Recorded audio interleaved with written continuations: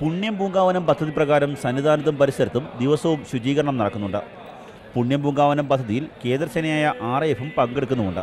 ഇതുകൂടാതെയാണ് കോയമ്പത്തൂരിലെ യൂണിറ്റിൽ നിന്നുള്ള നൂറംഗ സംഘം കൂടി സന്നിധാനത്ത് എത്തിയത്. ആർ എഫ് സംഘം ഞായറാഴ്ച ശുചീകരണ പ്രവർത്തനങ്ങൾ നടത്തി. ക്ഷേത്ര പരിസരത്തു നിന്ന് ആരംഭിച്ച ശുചീകരണം മരക്കൂട്ടം വരെ നീണ്ടു. ശബരിമലയിലേക്കുള്ള പാതകളാണ് സംഘം ആദ്യം വൃത്തിയാക്കിയത്. പാതയോരത്തെ വൃക്ഷങ്ങളിലും മറ്റും ഭക്തർ ഉപേക്ഷിച്ചിരുന്ന മാലിന്യങ്ങൾ ഇവർ നീക്കം ചെയ്തു. തൊട്ടുപിന്നാലെ വനംവകുപ്പിന്റെ അനുമതിയോടെ സൈനികർ കാട്ടിലേക്ക് ഇറങ്ങി കാട്ടിൽ ഉപേക്ഷിച്ചിരുന്ന പ്ലാസ്റ്റിക് കുപ്പികൾ അടക്കമുള്ള മാലിന്യങ്ങൾ ഇവർ നിമിഷ നേരം കൊണ്ട് ഇല്ലാതാക്കി. ആഴ്ചയിൽ ഒരു ദിവസം വീതം ഒരു സ്പെഷ്യൽ ക്ലീൻനെസ് ഡ്രൈവ് പുണ്യം പൂങ്കാവനത്തിന്റെ കൂടെ തന്നെ ചെയ്യാൻ ഞങ്ങൾ തീരുമാനിച്ചിട്ടുണ്ട്. അതിനുവേണ്ടി എല്ലാ ശനിയാഴ്ച വൈകുന്നേരവും കോയമ്പത്തൂരിൽ ഞങ്ങളുടെ ഹെഡ് ക്വാർട്ടറിൽ നിന്ന് ഒരു ടീം ഇവിടെ എത്തിച്ചേരും.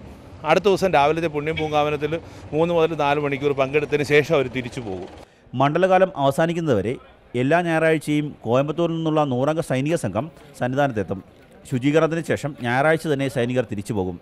വനംവകുപ്പ് അനുമതി നൽകിയാൽ കാട്ടിൽ ഉപേക്ഷിച്ചിട്ടുള്ള പ്ലാസ്റ്റിക് മാലിന്യങ്ങൾ അടക്കമുള്ളവ ഇല്ലാതാക്കാമെന്നാണ് ആർ എഫിന്റെ നിലപാട്. മാതൃഭൂമി ന്യൂസ് സന്നിധാനം.